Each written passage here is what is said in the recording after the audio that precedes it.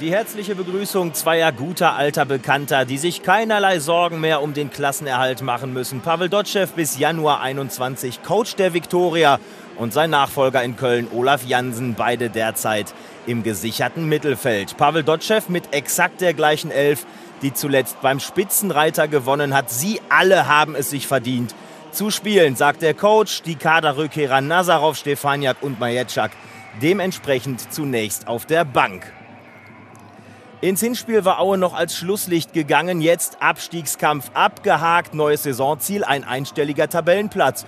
Durchaus ambitioniert bei sieben Punkten Rückstand auf 1860. Viktoria in der Anfangsphase besser im Spiel. Das ist wunderlich mit etwas Glück zu Simon Handle. Vierte Spielminute. Führung für Köln.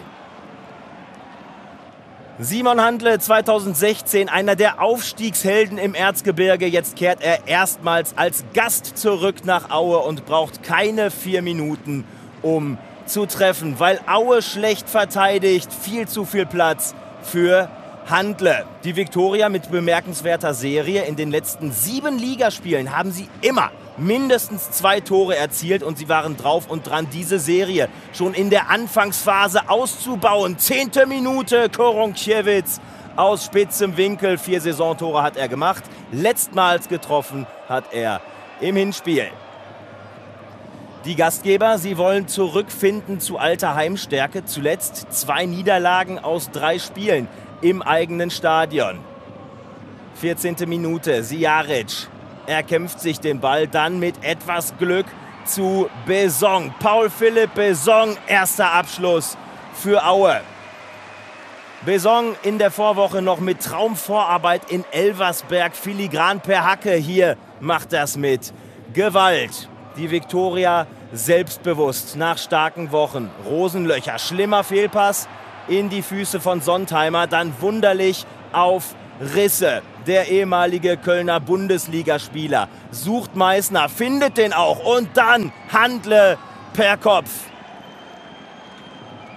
Der ist 1,70 Meter groß, setzt hier per Kopf an zum Doppelpack. Letztlich fehlen Geschwindigkeit und Präzision. Das Hinspiel endete 3 zu 0 für Köln. Es war bislang das einzige Aufeinandertreffen dieser beiden Teams. Heute kam Aue dann besser rein. Schöner Ball von Thiel auf Besong. Nächster Abschluss vom Stürmer. Diesmal voll mit bärenstarker Parade. Thiel und Besong schon in der Vorwoche am Tor beteiligt. Wunderschöner Außenrisspass auf Besong. Die Gastgeber in dieser Phase an Drücker haben sich reingekämpft in diese Partie und die Kontrolle übernommen. Wunderlich, unglücklich in den Lauf von Besong. Der kommt zu Fall. Aue will den Strafstoß. Pavel Dotschew, der Schubser gegen Matthias Heidrich, mal eben den Vorgesetzten aus dem Weg geräumt. Pavel Dotschew stinksauer, muss von Tomislav Pieplitzer beruhigt werden gelingt nur so halb. Besong bekommt den Elfmeterpfiff nicht. Durchaus glücklich für Viktoria, minimaler Kontakt, der aber reicht, um Besong zu Fall zu bringen. Enges Ding, die Getränkekiste muss dran glauben und es blieb hitzig. Nächste Entscheidung für Viktoria. Besong schlägt den Ball auf den Boden. Schiedsrichterin Franziska Wildfeuer mit Schwerstarbeit in dieser Phase. Gelb für Besong. Und dann ging's raus zur Bank. Mein lieber Herr Dotschew, bitte antreten. Bemerkenswertes Tête-à-Tête. Franziska Wildfeuer in ihrem zweiten Drittligaspiel. Pavel Dotschew in seinem 311. Drittligaspiel. Die junge Schiedsrichterin mit natürlicher Autorität auch gegenüber dem Routinier. Starke Schiedsrichterarbeit. Die Schlussphase der ersten Hälfte. Aue, Aue mittlerweile die aktivere Mannschaft. Starker Antritt von Rosenlöcher. Ben Voll erneut exzellent taucht schnell ab, der Kölner Keeper, und verhindert das erste Profitor von Rosenlöcher. Die Partie hatte etwas gebraucht, um Fahrt aufzunehmen. In der Schlussphase der ersten Hälfte ging es dann richtig rund. Dietz auf Sontheimer, Risse und Marseiler bekommt den Ball noch irgendwie rumgerissen. Natürlich kein Problem für Martin Mennel. Immer noch nicht Pause. 45. Minute. Schnell ausgeführter Freistoß auf Besong.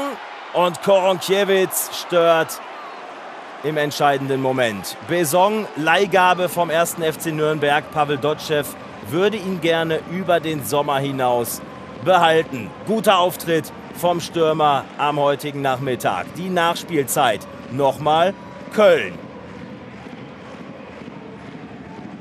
Dietz kommt mit Riesenschritten. Simon Handles Hereingabe, wieder Marseiler. Nochmal eine gute Gelegenheit für die Gäste unmittelbar vor dem Halbzeitpfiff. 0 zu 1 zur Pause im Erzgebirgsstadion vor über 6000 Fans. Die hofften auf einen ähnlich engagierten zweiten Durchgang, aber Köln kam wie schon im ersten Abschnitt besser aus der Kabine. Meißner in der 52. Minute Leihgabe vom HSV. In den letzten vier Spielen hat er immer getroffen. Kurz darauf Aue. Das ist Siaric. Versucht aus spitzem Winkel. Ben Voll kann parieren. Pavel Dotschew sah, wie auch in dieser Phase seine Jungs die Kontrolle übernahmen. Immer wieder angetrieben von Besong. Ärgert sich, darf doch nicht wahr sein, wie man sich als Stürmer so viel herausarbeiten kann und letztlich so wenig draus macht. Besong bleibt bei drei Saisontoren stehen. Nur wenige Augenblicke später wieder Aue. Nächste Hereingabe. Und wieder ist es Besong. Diesmal fehlt ihm die Entschlossenheit. Starke Flanke von Siaric. Wenn Besong durchzieht, dann klingelt's. Er will's irgendwie mit dem Außenriss versuchen. Reicht nicht zum Ausgleich. Aber weiter die Gastgeber. 57. Minute. Das ist Gorzel. Versucht aus der Distanz. Bislang immer voll der Sieger gegen Aue. Gorzel im Sommer neu von Türkgücü nach Aue gekommen. Nach wie vor ohne Tor im Erzgebirge. 58. Minute. Guter Ball auf Thiel. Aue fordert wieder Strafstoß. Franziska Wildfeuer gibt ihn erneut nicht und das geht in Ordnung. Thiel kommt nicht ran an den Ball, geht dann früh runter mit den Knien in Ben Voll hinein.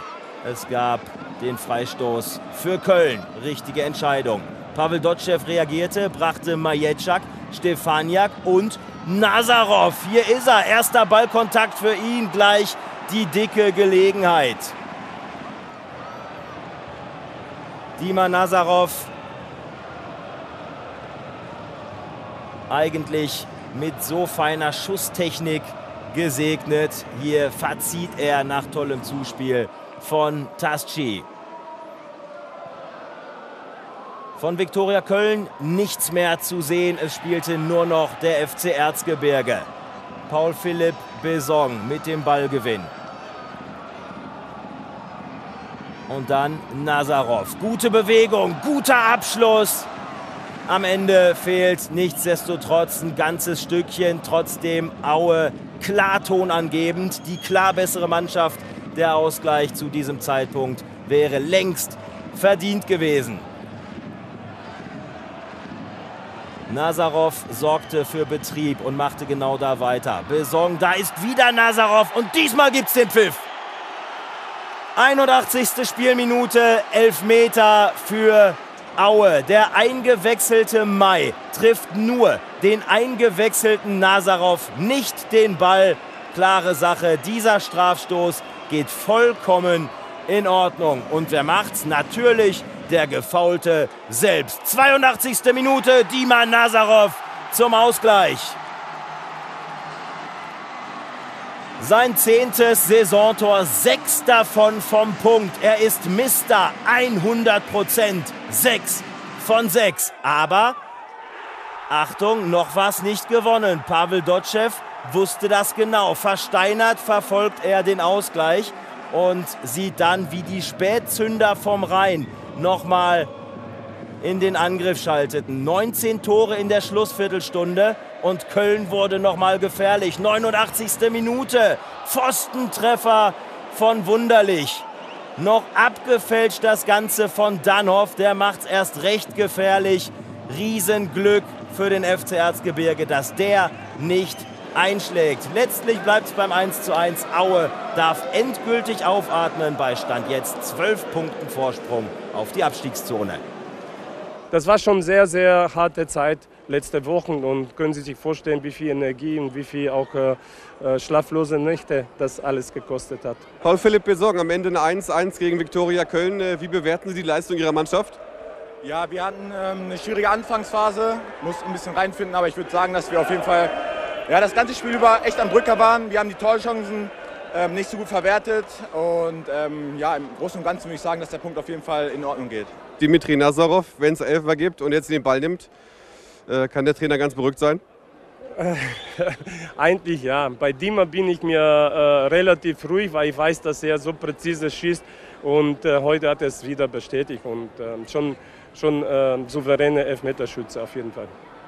Zehn Tore vom Mann mit der Zehn. Er ist der beste Auer-Torschütze in dieser Saison und darf einem entspannten Saisonendspurt entgegenblicken.